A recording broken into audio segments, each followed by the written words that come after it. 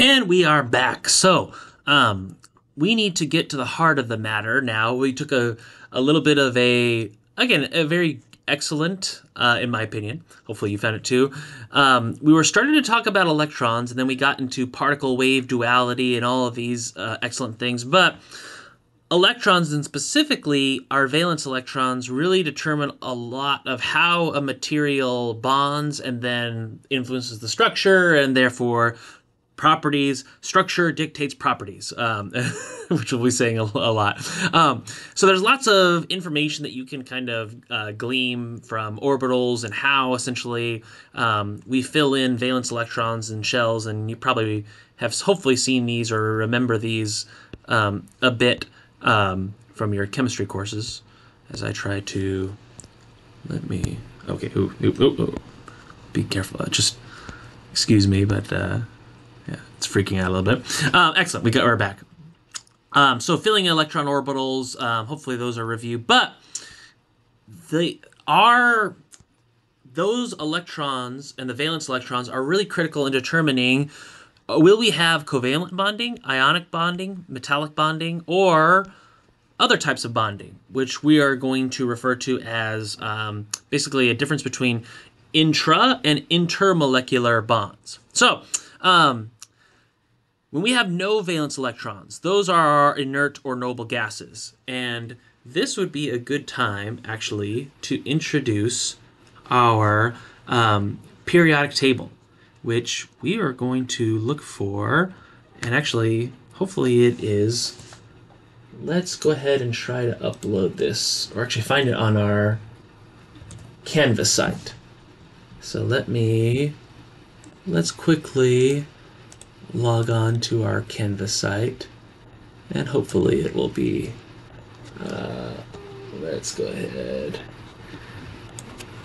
Let me. Oh, here we go. Let's go ahead and upload it here for a second. Excuse the uh, the delay, but it will be here in just a bit. Um, let's go ahead and we will go ahead and find it. Let's go ahead and put it in notes. Find it here. Actually, let's go ahead. So actually, let's go ahead. Let's open up. Um, actually, let's go to uh, my Humboldt. Actually, we're gonna go ahead and just log in. Oops, nope. We gotta go to my Humboldt, and then Let's go ahead, let's get to our Canvas site. And remember me. Send the push. No, no worries, we're to download this soon. Verify my identity. Again, you get to see all the fun, this fun process in the video you can never say uh, it's not a spontaneous uh, uh, video lecture. so let's go ahead and we will get into here. Let's look at our files. Let's look at our lectures. And then let's go ahead and download. Where's our periodic table? So this is the periodic table that we're going to utilize throughout this course. And we'll look over here. And we'll, let's type in periodic table. And let's insert our file. So um, again, this is the periodic table that we are going to utilize uh, throughout the course. Um, so be sure. Uh, let's see. Hopefully, it's a downloads here. Downloads. Here we go. And let's do insert printout. So we are saying that if we have all of our valence electrons filled, we're an inert or a noble gas. Um, so we can actually hopefully remind ourselves of kind of the periodic table. And this is a very unique periodic table because it has a lot of additional information that are going to be critical, that is going to be critical for us um, in this course. So we can hopefully take a peek right here. We can look at crystal structures and all this good stuff. But we see here our noble gases are this column here in the table. Um, and actually we can scroll down to probably a more familiar approach. And you can see in the valence in the shells were completely full. So these are noble gases Um, again, hopefully a reminder from some chemistry courses that you had um, previously taken. So, um, the interesting part is the valence electrons, when those shells are not complete, that's going to be really critical when it comes to bonding. So, when we look at um, bonding, we're going to be dealing with covalent bonding, ionic bonding, metallic bonding, and then these are all intramolecular. Intramolecular. These, or in many other types, are intermolecular, between. Intra is within, intermolecular molecular is between. Um, but before we get into uh, kind of a lot of these details, one of the questions like, why do atoms bond? Like, why does bonding occur in the first place? Um, well, this comes. Uh, this brings us to one of the critical equations that we're going to see pop up over, uh, over and over and over in our course, which is life is governed by this equation. Hopefully, you know uh, it's our Gibbs free energy equation, where delta H is essentially our enthalpic or our energy term, Delta S is, again, our entropic term. T is temperature. Again, entropy is not, again, we always kind of hear it taught as a measure, measure of disorder. We're going to be thinking about that in terms of the number of microstates, the number of unique ways that I could rearrange essentially my system. So, why would bonding occur? Because if I bond, I'm basically saying these atoms are together, whereas this is one possible state. My second state is just stay apart. Like, just bounce around into infinity, arrange, don't, you know, I'm not going to limit your configuration by having to be together. So why would, like, which state has more entropy?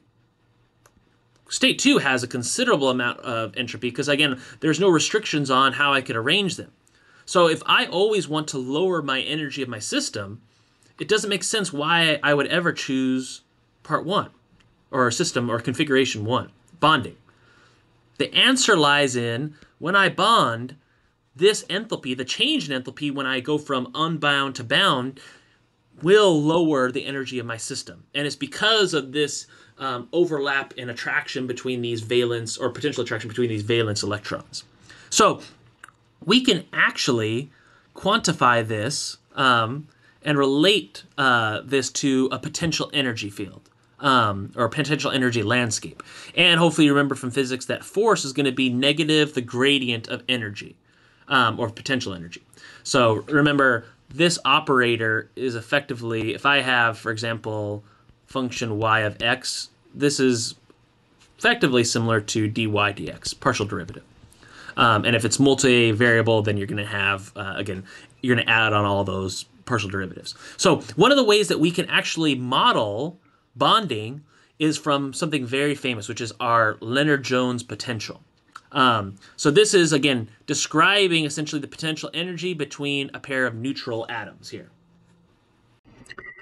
So this is our Lennard-Jones potential. Um, and again, this is an interaction between a pair of neutral atoms. It is a very, very, very popular potential um, because as you can kind of see here, uh, again, I don't like to say equations or functions are simple, but it's relatively simple and straightforward. We have a function, basically our u. I, I always kind of you see v e or you know u. So I have my potential of Lennard-Jones, which is sim- is just a function of r, and I have two fitting parameters, epsilon and sigma.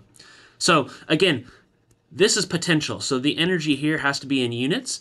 And as you can see here, R is going to be obviously in meters. It's some distance. So that means sigma is some meter or distance parameter or fitting parameter. And epsilon, it can be either in electron volts or joules. And usually we want to always work in SI units, so um, joules. So just to kind of be aware of how that function works. And what you can see here is actually quite beautiful and I I would argue that it's relatively um, uh, straightforward. what do I mean by that? This is showing essentially the interaction between two atoms. So if I have two atoms that are very, very, very, very, very, very, very, very, very, very, say infinitely large distance apart, we're kind of asymptotically approaching an energy of zero. Does that make sense? Yeah, because like I have those those atoms really don't even see each other if I get very, very, very close, those positive cores in my nucleus are going to start to kind of touch and they're going to want to repel. Again, high energy is bad. We don't want to be in a high energy state.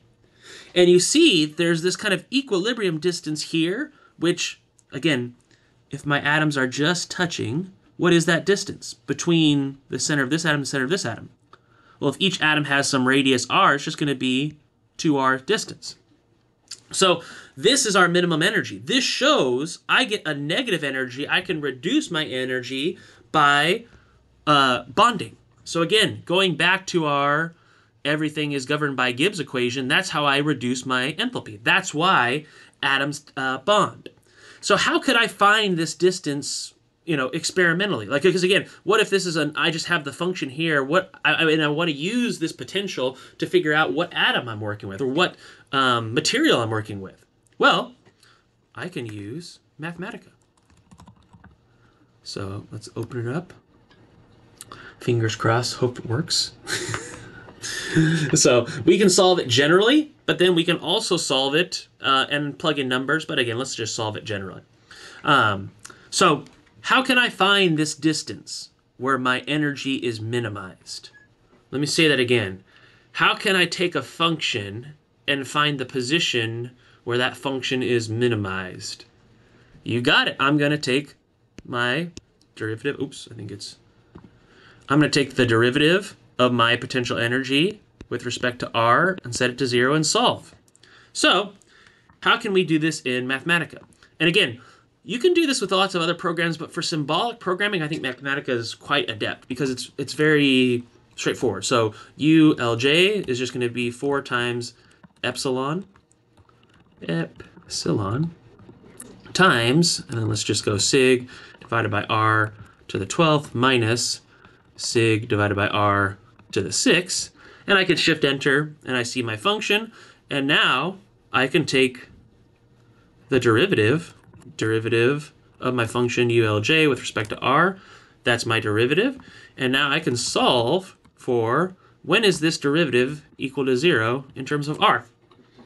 And I can see a bunch of values here. So let's say, for example, um, and you can just see I'm not going to have negative values. So this is out, this is out, this is out, this is out. So really, this is going to be my equilibrium distance here because again, I need a realistic distance, so that's I'm not going to have negative distances. We also said that force, right? Force is equal to negative, in this case, the derivative of my potential ULJ with respect to R. So how can I find out where my force is maximized? Well, what I how again? Let me say that again. How can I find where force is maximized? Well, I'm going to take the derivative of force with respect to r and solve for when this is equal to 0. And I can get an answer here as well. And if I had values, I could plug in and solve. But let's look at this conceptually. Force is equal to minus du dr. If I want to maximize force, I'm going to set df dr equal to 0, which is equal to minus d squared u dr squared is equal to 0 how do I know what is graphically, where can I find where the second derivative is zero? At my inflection point here, where I change from negative curvature to positive curvature. So here is actually the distance where my force is maximized, where the force between the, between the atoms is the largest. So that is bonding potentials and why do things bond. So um, we are going to get into intramolecular interactions uh, and dis- discussing those on the next video and seeing how we can determine between different types of bonding and structure. See you next time. Thanks. Bye.